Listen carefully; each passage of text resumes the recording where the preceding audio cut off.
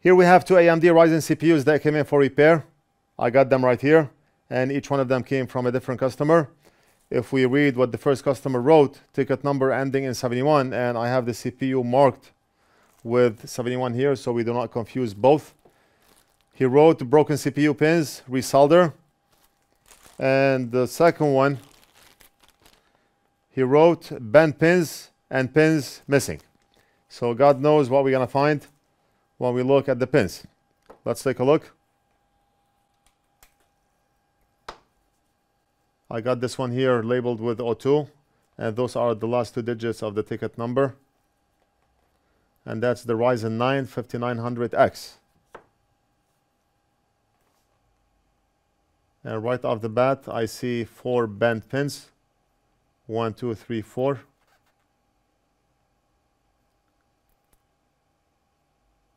we have bent pins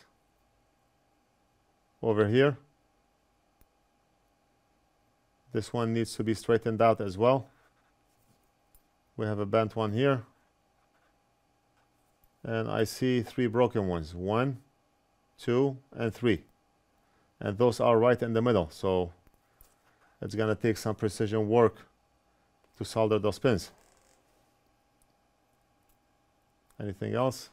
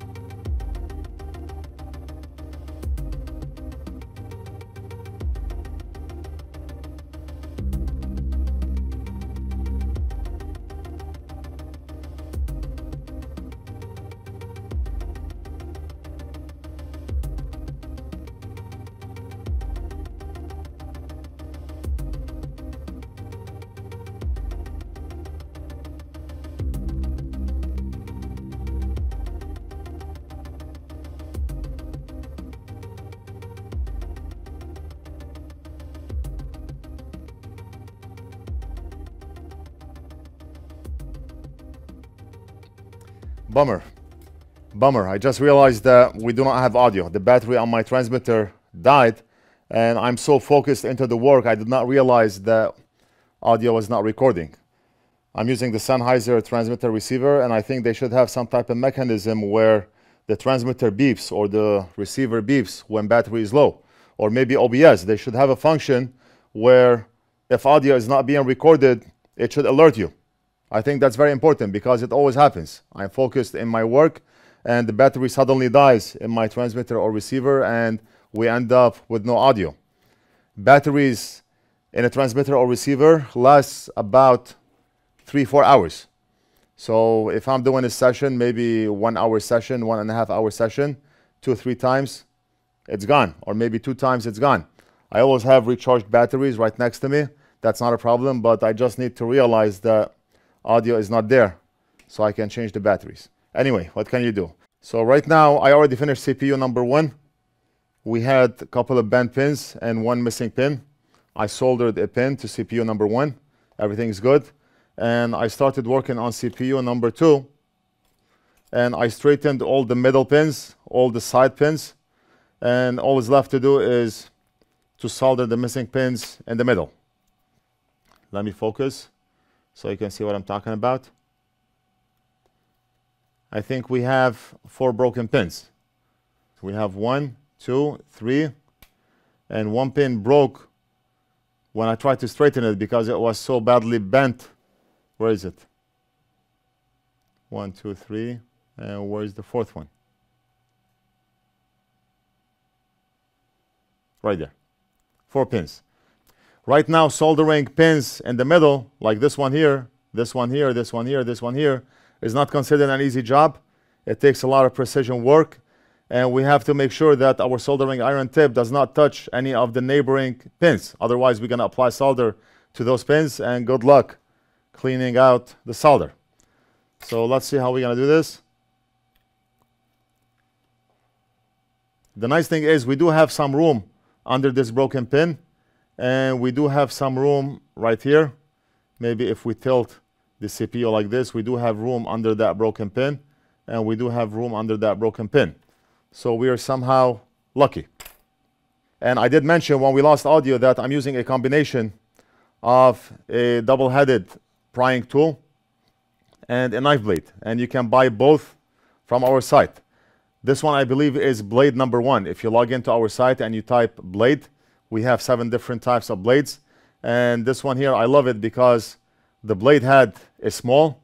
It goes in in between the pins and you can easily use it to straighten the pins. And you can use this pry tool. You see how it has an edge on the top, like a 90 degree edge. You can straighten pins that way, like this, or you can even go like this if you want a longer reach. You can also use the yellow one here if you want a longer reach. So right here, if you search for double-headed multifunction pry and knife tool, or if you search for pry, or prying or knife, you will come across this one here. The item comes with five pieces, different shape heads, dual heads, top and bottom, and those are multifunctional. You can use them for any purpose. And the blade I'm using is this one here. Blade number, not number two, blade number one. I'm using the tiny head on the blade, and that head is perfect for straightening pins on CPUs. You have blade number two, which is a blade from the inside. You have a bigger blade, blade number four. Blade number six is a pointy blade. You have six different types of blades. And while we are on the website, I just want to quickly mention that we do have an affiliate program. A lot of viewers keep asking, do you have any type of an affiliate program so that we can share your link? When somebody clicks on the link and makes a purchase, we can get paid a commission. We've had this affiliate program running for the past eight months, and a lot of you are already affiliates, and a lot of you are already generating a lot of income. Today we have 27 referrals, 27 orders from different affiliates. And all you have to do is sign up to our website, have an account on our website. You can then go to your dashboard and click on Become an Affiliate, and you will automatically become an affiliate. You can then generate a link, share it on your social media, on your website, as long as you do not spam that link, you should be okay. You will start with 5% commission.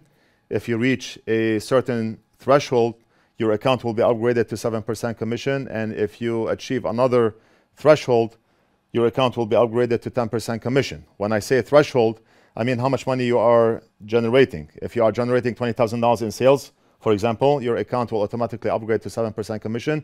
If you are generating over $50,000 in sales, then your account will be upgraded to 10% commission. So let's say somebody purchased a microscope for $700, 5% commission is $35, 10% commission is $70. We get a lot of orders every day, and you could be making a lot of money off our site. A lot of the items that we sell have 15%, 20%, 30% profit. So we can share that profit with you when you share the links. So without wasting any more time, let's go ahead and continue working on this CPU. We're gonna have to solder four pins and then we can call it off for this video. We already fixed one CPU and now we have to fix this one. And right now, if you look here, we have three missing pins. The area is tight, but it's doable. I mean, it's doable if you are using the right tip. If you are using a tip that looks like this, then of course it's not doable. Right now, the base of the pins are broken, so we need to get rid of that base, one, two, and three. And we want to only have the silver ring that you see under the base.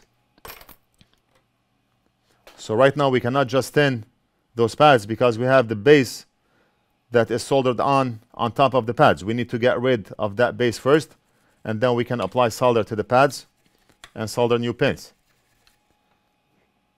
Let me check my weller tip. Will that work? Possibly yes. We have enough room. What about the NF.mini pen? I have the knife tip and the knife tip will work as well. Let's apply some flux in the middle. I mean, look at that flux needle. Look at how big that needle is. The needle is actually not big. It's a 20 gauge, very tiny. But those pins are microscopic. A lot of you ask that I compare whatever I'm working on to maybe a penny or quarter or dime. I do have a penny right next to me. And maybe if you want to compare the size of the pin with a penny, it's unbelievably small. It's not the smallest I've worked with. Size 1005 components is smaller and likely size 201 components are smaller, but those pins, I can tell you they are microscopic. And if you want to compare maybe the size of the pin, the width on that pin, it equals the eye in In God We Trust on a penny. See this eye? That's the size of the pin on the CPU. Or maybe one pin will equal one edge on the side of the coin. You know how the quarter has edges? One pin will equal one edge on the coin. So that's how tiny those pins are. Right now, we do not have any room for mistakes. No room to shake your hand. Just take a deep breath and do it.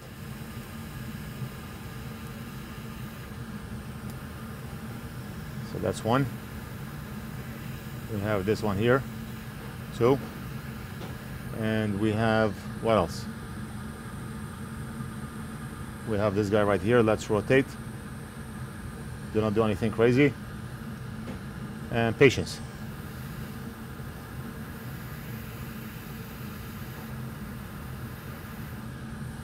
Gone. Gone with the wind.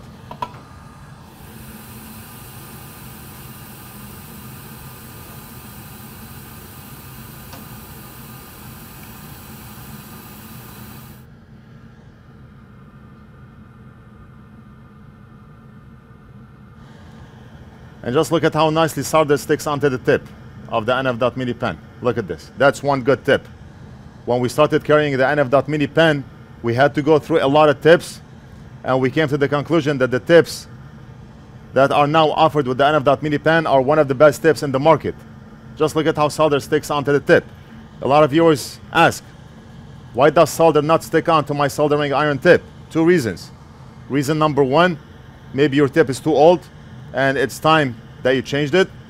Or reason number two, if the tip is new and it's not holding solder after two days, it means you have a cheap tip. I've been using this very same tip for the past, I would say five months, and the tip is amazing. It's better than my Weller station. The NF NF.mini pen itself is 30% of the equation. The other 70% is the tip, what tip you are using. So we applied solder onto those pads. And now it's time that we grabbed a pin from the donor CPU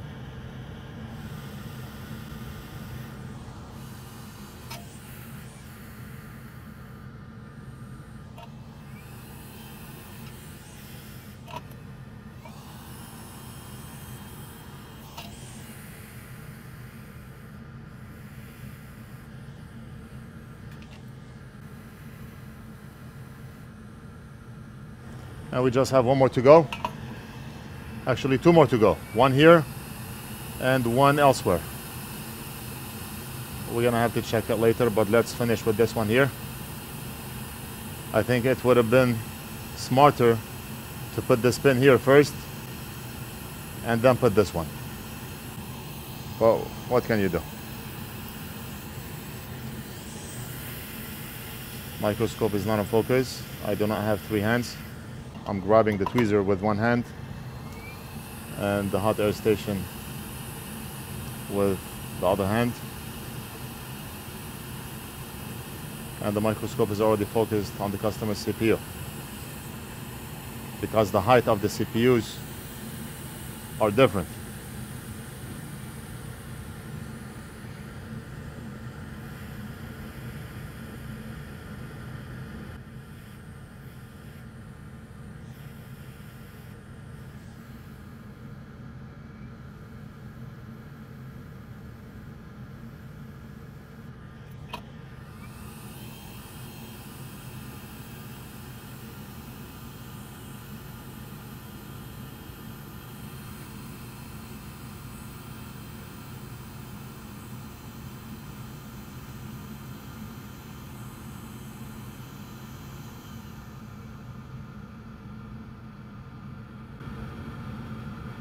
and we're good. Like I mentioned before, I do not know if I mentioned it while the microphone was on or off, but I did mention that there's room to play. The pin does not have to be 90 degrees, it could be 85 degrees, and the pin will still fit inside the socket.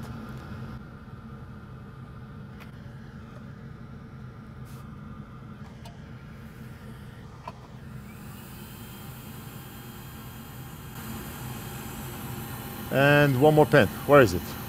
Right there. The guy is hiding. You can run, but you cannot hide. That's what my mother used to tell me when I was a kid, when I was being a bad boy. She would take her slipper off and throw it at me. And she hits target every time. It does not matter if I'm hiding behind the couch or behind the table, that slipper would hit target. The slipper would make a 90 degree turn and hit target like a boomerang. That's how good she was. Of course, it was not child abuse, but that's the way things were done in my country. It's either the slipper or the wooden spoon. You choose.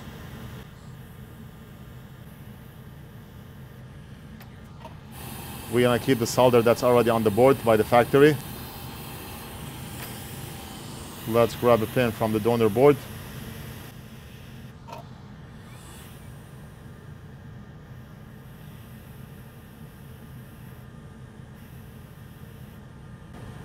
All right. And we're good. Perfect. Maybe we can press down on the pin on the base. Just for extra security.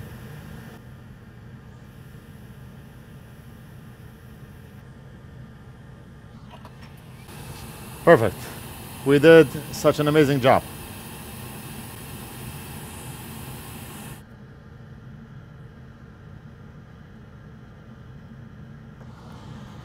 And we are done. We fixed two CPUs for two different customers. I hope you enjoyed the video. Let me know what you think. Leave it down in the comments. Don't forget to like and subscribe. And we'll do something else in the next video.